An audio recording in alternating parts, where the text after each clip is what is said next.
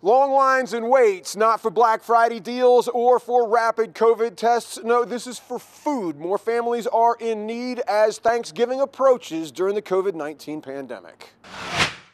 The last meals have been served inside Philadelphia restaurants, at least for now. We're an hour into these new safer at home restrictions. How are businesses coping? And while restrictions tighten in Philadelphia, it's a different story here in the suburbs of South Jersey, despite growing case counts. And the governor in this state prepares for distribution of a vaccine. And this is the six.